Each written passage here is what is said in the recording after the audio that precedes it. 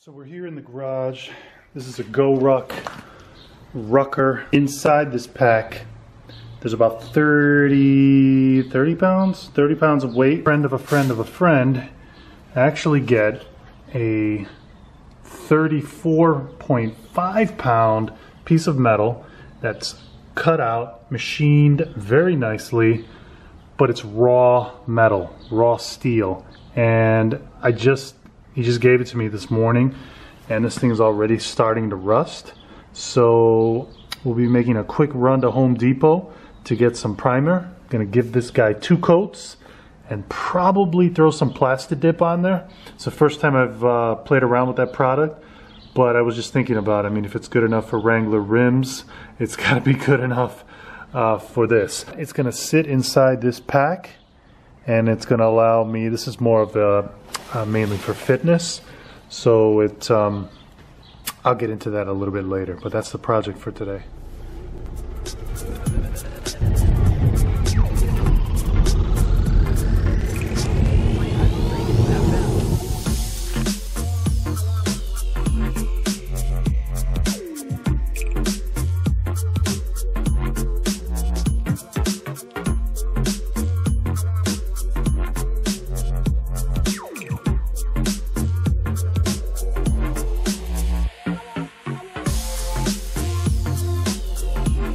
So I got back home and I actually had some primer.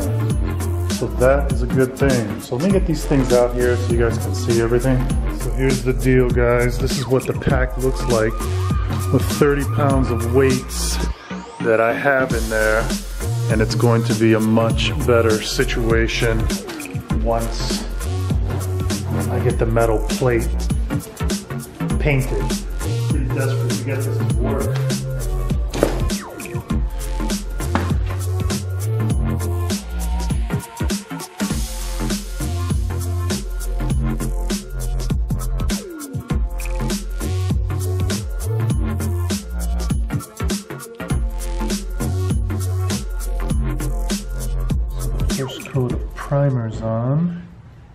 Probably dry to the touch right now, but I'll give it an extra 15 minutes just to be safe. So rucking with this thing wasn't so graceful before. I'm hoping it will uh, be a better situation with this steel plate. Just putting on the backpack. Not terribly, not terribly graceful. The pack itself is excellent. Um, but it was just the way that the plates are, they're kind of kind of unwieldy on your back. So with the actual steel plate, it's just much more even. See how it goes.